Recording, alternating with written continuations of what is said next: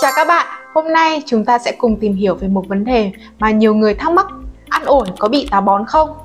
Ổi là một loại trái cây rất phổ biến tại Việt Nam, được nhiều người yêu thích nhờ hương vị thơm ngon và giàu chất dinh dưỡng. Tuy nhiên, có nhiều ý kiến cho rằng ăn ổi có thể gây táo bón. Vậy thực hư như thế nào? Hả? Chúng ta sẽ cùng tìm hiểu chi tiết qua video ngày hôm nay nhé. Trước hết, chúng ta cùng tìm hiểu thành phần dinh dưỡng có trong quả ổi. Ổi là một trong những nguồn cung cấp vitamin C hàng đầu với 228,3mg vitamin C trên mỗi 100g ổi. Nó cung cấp lượng vitamin C cao hơn nhiều so với cam. Vitamin C đóng vai trò quan trọng trong việc tăng cường hệ miễn dịch, sản xuất collagen và chống lại các gốc tự do gây hại. Tiếp theo, mỗi 100g ổi cung cấp khoảng 5,4g chất xơ, chiếm khoảng 21% nhu cầu chất xơ hàng ngày. Ổi cũng chứa vitamin A cùng với nhiều chất chống oxy hóa, chống viêm như lycopene, quercetin và polyphenol. Ngoài ra, ổi cung cấp nhiều khoáng chất quan trọng như kali, magie, canxi và sắt. Kali giúp duy trì áp suất máu ổn định. Magie và canxi đóng vai trò trong sự phát triển và duy trì xương chắc khỏe, còn sắt là thành phần quan trọng trong quá trình sản xuất hồng cầu. Vậy, lợi ích của ổi đối với sức khỏe là như thế nào? Ổi không chỉ ngon mà còn mang lại nhiều lợi ích cho sức khỏe, bao gồm Thứ nhất, tăng cường hệ miễn dịch. Ổi là nguồn cung cấp vitamin C tuyệt vời. Vitamin C là một chất chống oxy hóa mạnh mẽ, giúp bảo vệ cơ thể khỏi các tác nhân gây hại từ môi trường và tăng cường hệ miễn dịch. Thứ hai là hỗ trợ hệ tiêu hóa. Ổi chứa nhiều chất xơ, giúp cải thiện hệ tiêu hóa và ngăn ngừa táo bón. Ngoài ra, chất xơ hòa tan trong ổi còn giúp duy trì sự cân bằng của vi khuẩn đường ruột, góp phần vào sức khỏe tổng thể của hệ tiêu hóa. Thứ ba là tốt cho tim mạch. Ổi có tác dụng tích cực đối với sức khỏe tim mạch. Chất xơ hòa tan trong ổi giúp giảm hấp thu cholesterol từ thức ăn. Kali cũng giúp điều hòa huyết áp, làm giảm nguy cơ mắc các bệnh tim mạch như đột quỵ và nhồi máu cơ tim. Thứ tư là giúp kiểm soát đường huyết. Chất xơ hòa tan trong ổi giúp kiểm soát mức đường huyết bằng cách làm chậm quá trình hấp thu đường vào máu. Các nghiên cứu đã chỉ ra rằng tiêu thụ ổi có thể giúp giảm nguy cơ phát triển bệnh tiểu đường type 2 và hỗ trợ quản lý bệnh tiểu đường ở những người đã mắc bệnh. Thứ năm là giúp chống lão hóa. Các chất chống oxy hóa như vitamin C, lycopene và quercetin trong ổi giúp bảo vệ tế bào khỏi sự tổn thương do gốc tự do, làm chậm quá trình lão hóa và duy trì làn da khỏe mạnh. Vitamin C cũng giúp thúc đẩy quá trình sản xuất collagen, duy trì độ đàn hồi và săn chắc của da. Và cuối cùng là cải thiện sức khỏe mắt. Vitamin A trong ổi đóng vai trò quan trọng trong việc duy trì sức khỏe mắt. Tiêu thụ ổi thường xuyên có thể giúp ngăn ngừa các vấn đề về thị lực như thoái hóa điểm vàng và đục thủy tinh thể. Các chất chống oxy hóa khác trong ổi cũng giúp bảo vệ mắt khỏi tác động của các gốc tự do. Vậy tại sao có người cho rằng ăn ổi gây táo bón? Theo các chuyên gia, ổi xanh mới là nguyên nhân chủ yếu gây táo bón. Với cấu trúc cứng và nhiều hạt, ổi xanh có thể làm chậm nhu động ruột và gây ra tình trạng khó tiêu, đầy bụng. Ổi xanh có tính bình, vị ngọt chát, có tác dụng thu liễm, có thể gây co mạch, giảm tiết dịch và làm giảm nhu động ruột dẫn đến táo bón. Nghiên cứu hiện đại chỉ ra rằng trong ổi xanh có chứa nhiều tan anh.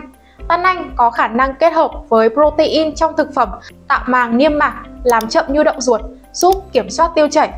Tuy nhiên, ăn quá nhiều ổi xanh có thể làm ngưng trệ hoạt động của đường ruột, dẫn đến tình trạng táo bón chức năng. Ngược lại, việc ăn ổi chín mang lại nhiều lợi ích hơn. Ổi chín giúp kiện tỳ, nhuận tràng và cải thiện chức năng tiêu hóa. Sử dụng ổi đúng cách có thể giúp cải thiện tình trạng táo bón và hỗ trợ quá trình tiêu hóa của cơ thể. Để ngăn chặn và giảm tình trạng táo bón, việc bổ sung ổi vào chế độ dinh dưỡng có thể được thực hiện qua những cách sau. Thứ nhất, chuẩn bị khoảng 4 tới 5 quả ổi để ép nước uống. Bạn cũng có thể kết hợp với rau xanh và trái cây khác để bổ sung khoáng chất và vitamin. Nước ép từ ổi giúp nhuận trà hiệu quả hơn so với việc ăn trực tiếp, đồng thời tăng cường hấp thu.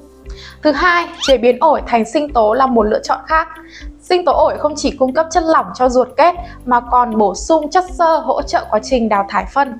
Thứ ba, chọn ổi chín vừa, giữ độ ngọt và giòn. Nếu quả ổi có nhiều hạt, bạn nên bỏ ruột trước khi ăn để ờ, tránh tình trạng đầy bụng và khó tiêu. Tuy nhiên, người bị táo bón khi ăn ổi nên lưu ý thêm những điều sau đây quả ổi có tính nóng nên hạn chế chỉ ăn từ 2 tới 3 quả cỡ vừa mỗi ngày. Sự tiêu thụ quá mức có thể gây cảm giác nóng trong và gây tình trạng đầy bụng khó tiêu. Uống đủ nước khi ăn ổi sẽ giúp chất xơ hoạt động tốt hơn và ngăn ngừa táo bón. Vỏ ổi chứa nhiều chất xơ và chất chống oxy hóa. Nếu có thể, hãy ăn cả vỏ sau khi rửa sạch để tận dụng tối đa lợi ích dinh dưỡng. Nếu bạn đang gặp vấn đề về dạ dày, hãy ưu tiên sử dụng nước ép ổi thay vì ăn trực tiếp để à, tránh tác động của hạt ổi do nó khá cứng và khó tiêu, có thể làm tăng áp lực lên dạ dày. Bên cạnh ăn ổi chín giúp cải thiện tình trạng táo bón, các bạn cũng nên áp dụng thêm các biện pháp sau đây. Thứ nhất, uống nhiều nước, đảm bảo cơ thể được cung cấp đủ 1,5 tới 2 lít nước mỗi ngày. Thứ hai, tăng cường hoạt động thể chất. Vận động giúp kích thích hoạt động của ruột, giảm nguy cơ táo bón. Thứ ba, ăn thêm thực phẩm giàu chất xơ hòa tan. Các loại thực phẩm như mồng tơi, rau đay, đậu bắp, hạt chia, hạt lanh và hoa quả khác có chứa chất xơ hòa tan giúp làm mềm phân và dễ dàng đi đại tiện. Thứ tư, sử dụng sản phẩm có chứa probiotic. Probiotic hay men vi sinh giúp cân bằng hệ vi khuẩn đường ruột và cải thiện chức năng tiêu hóa, ngăn ngừa nguy cơ táo bón. Ngoài ra, để duy trì sức khỏe tiêu hóa và phòng ngừa tình trạng táo bón, các bạn có thể tham khảo sản phẩm Isotac Gold dạng gói bột. Sản phẩm này chứa các thành phần có lợi như sau. Thứ nhất là lợi khuẩn đường ruột dạng bào tử, Bacillus Lausi, Bacillus coagulans giúp cân bằng hệ vi sinh đường ruột, cải thiện tiêu hóa, tạo lớp màng nhầy bao quanh niêm mạc đại tràng, từ đó phân di chuyển sẽ dễ dàng hơn. Tiếp theo là các chất xơ hòa tan tự nhiên như mủ trôm, phos, fibregum giúp tăng cường chức năng nhuận tràng, làm mềm phân và giảm tình trạng táo bón. Insotagon phù hợp cho cả người lớn và trẻ nhỏ, giúp cải thiện sức khỏe đường ruột một cách hiệu quả và an toàn. Việc sử dụng sản phẩm này đều đặn có thể giúp bạn duy trì một hệ tiêu hóa khỏe mạnh, ngăn ngừa các vấn đề liên quan đến táo bón và đại tiện khó khăn. Hãy lựa chọn Isotagon để hỗ trợ hệ tiêu hóa của bạn và gia đình, giúp cuộc sống trở nên nhẹ nhàng và thoải mái hơn. Tóm lại, ổi là một loại trái cây tuyệt vời với nhiều lợi ích cho sức khỏe, đặc biệt là hệ tiêu hóa. Tuy nhiên, để tránh tình trạng táo bón, bạn cần ăn ổi đúng cách và kết hợp với chế độ ăn uống và sinh hoạt lành mạnh. Hãy ăn ổi chín, uống đủ nước và duy trì lối sống năng động để tận dụng tối đa lợi ích của loại trái cây này. Hy vọng thông qua video này các bạn đã có cái nhìn rõ ràng hơn về việc ăn ổi và vấn đề táo bón. Nếu còn băn khoăn hay thắc mắc gì liên quan đến vấn đề này, đừng ngần ngại để lại thông tin bên dưới phần bình luận hoặc gọi ngay qua số hotline phía trên màn hình để được hỗ trợ và tư vấn thêm trong thời gian sớm nhất nhé. Xin chào và hẹn gặp lại các bạn trong những video tiếp theo.